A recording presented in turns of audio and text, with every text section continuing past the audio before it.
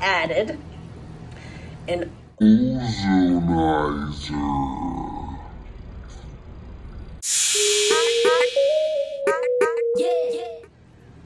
So this stuff is pretty simple. Excuse the mess, I've just been doing a lot of things with the tank.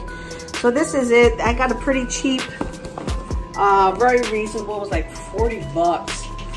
Um, this is what Reef Dudes Devin uses on his. Then I got the same air dryer that from uh, Amazon. It was like 20 bucks for that. So all in all, it was just like 60 bucks for everything. Can't, you know, I can't beat the price point of it. This is big enough to do 150 gallons if I'm not mistaken. So it's more than enough for my 75 and my little 20 gallons downstairs on the sump, uh, you know, combined. And then you have the rock and sand displacement, so you know it's less than that. So, so this is it right here. This tube is the um, inlet where I have the air dryer attached to. And this is the um, output where I have it run back here and I'm just going to open this up a smidge, which you can kind of see the mess back here. But this is the air dryer. So this is where the flow, it comes in here, goes through, and then it goes through in into the um, ozonizer.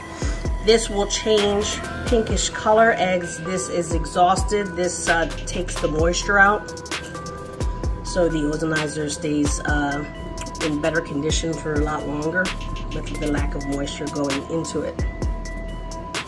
As you can see it has a flow direction here to let you know to put the hose this way. Put it. So as this changes colors, I don't know how long it will go. I'm not really running a whole lot of ozone. I'm running a very low amount of ozone. So uh, this is something that I'm just going to have to um, kind of have to do. So in here, I gotta put some WD-40 on that. As you can see, the hose comes in this way, and then I have it going right into the skimmer. I'm not doing a whole lot of ozone. I'm doing little, goes a long way, Devin said. And um, so I'm doing small increments for like an hour. I'll do like five, I think it's milligrams, is it? Five to 10. And, um, and that's it. Then I'm gonna see how it works on the tank for clarity. It's really for clarity. I mean, it does do some sterilization, but it doesn't do a whole lot for the, the at least my size of the tank anyway. Here, this is just a little bit of carbon that people tend to put on top of the skimmer just in case there's any leakage. It goes through the carbon. It, you know, it's like a little bit, the little bit of ozone that comes out of this hose goes right into the skimmer and get circulated and it pretty much dissipates. So that's it. There's my rocks. I added those shelves in there for, for the 33, so a lot of this stuff in here is going downstairs with a little bit of uh, real rock that I bought. It's a very small amount of real rock. It was like 18 bucks. It was on sale. Per pound. I only got like three pounds of it. So I'm going to kind of do something similar as a little island and then another little island and maybe one more. I'll see. I have to mess around with the rocks. I need to get some reef weld or something because this glue just doesn't cut it. Like this little rock here kind of moves and I've glued it several times and it just, I need something stronger. So I'm gonna try and get some uh, reef weld, I think it is, from Marine Depot and give that a shot. But anyway, I'm off topic. So this is what how I'm running ozone. And like I said, I got a ORP. I don't know if you can see it, it's yellow. I got an ORP probe. Turn the light on.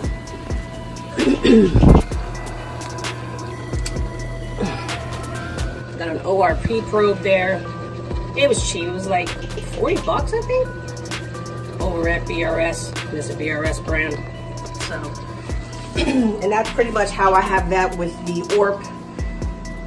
Once it hits a certain number, as a safety measure, if this ever goes up past 350, the Apex will turn off the ozonizer so it doesn't go past that and overdose the tank. It's all gonna go in the ORP of levels. It's more of a, just a numbers game. The higher your ORP, the clearer your water is. I put mine in here and it was 180. So it wasn't the best water clarity is the reason why I got it. so um, I'm going to try to shoot for anywhere between 250 to 3 and I'll be happy with that. So we'll see how long that takes me to get there with everything and I'll keep you posted. I just literally started this last night and I'm just doing small increments, um, working my way up to an hour. Then after that, I'll do another hour and then see how it goes. Right now, I'm running it during the day while I'm here so I want to make sure everything's okay with this, that this doesn't leak or, you know, or have any odor or anything like that. So that's what I'm doing. And the lights are just kicked on around 8 o'clock, the blues. You know, the blues always tend to be on the clearer side, but this is pretty damn good for a little bit that I'm running it, but we'll really test it once the actual lights come on. Maybe when my texts come on because when my texts come on that really gives a lot of extra light and it almost makes everything look a little white a little too white for me. Um, but we'll see. That'll definitely give me a better shot of the clarity of the water with those Tech 5050s on I've noticed it's probably just too much light with that so I'm kind of cutting the Tech 5050 time in half to maybe like an hour and a half, two hours tops. And I'll do that midday, kind of like the peak of the sun to at least give a little bit more white spectrum in there for some growth for the uh, coral. All right, guys, that is it.